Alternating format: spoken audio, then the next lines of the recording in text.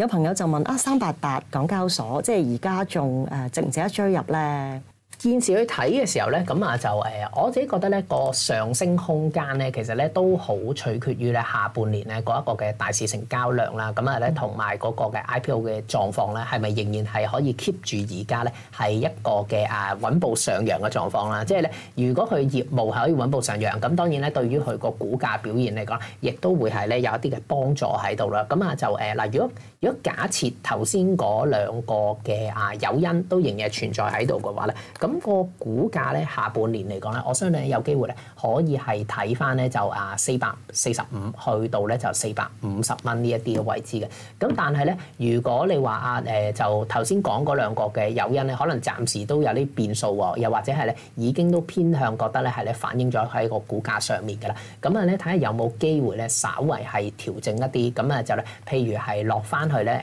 誒三百八十或者三百七十五呢一啲位置咧，先至考慮部署吸納啦。